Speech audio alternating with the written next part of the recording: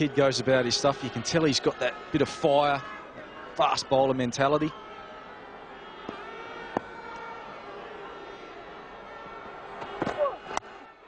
Chipped, will it get to extra cover?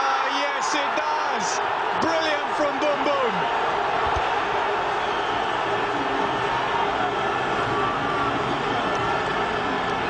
Great catch to Afridi. It just hung in the air long enough for him to make his ground first on foot and then in the air.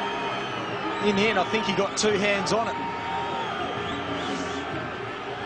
Full delivery from Amir, and it was looked like it was right off the bottom of the bat. Here goes Afridi. Way to his right. Yep, two hands. And he celebrates accordingly. Here I am. So, this is game on. The dangerous Cameron White has got to go.